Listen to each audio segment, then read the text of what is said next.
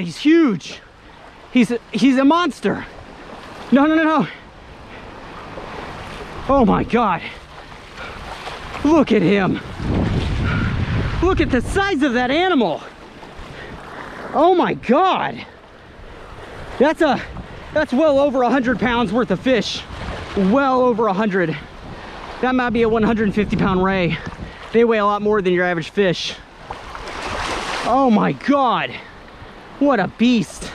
All right, I'm gonna wrap the line so that I can unspool it if I need to around my hand. Basically, if I just open my hand, the line will come off. Let me see if I can do this. Holy smokes, guys, look at this. Oh, there goes my hat. Honestly, don't care. I do not care. There, hat's on the land.